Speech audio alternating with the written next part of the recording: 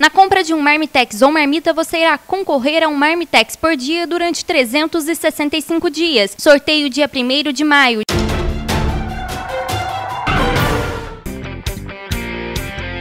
Nota falsa sendo passada em comércio na cidade de Guaranésia. A polícia militar foi chamada na drogaria São Geraldo, onde foi constatado que haviam passado uma nota de 100 reais falsa.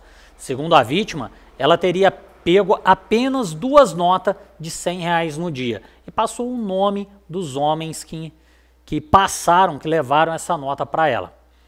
E eles informaram os policiais que teriam recebido essa nota aí de terceiros, mas que não haviam, no momento que pegaram a nota, eles não haviam percebido que era uma nota falsa, eles não notaram diferença alguma nas notas que foram recebidas. A Polícia Militar então registrou os fatos. Então os comerciantes aí da região, da nossa região, tomar bastante cuidado.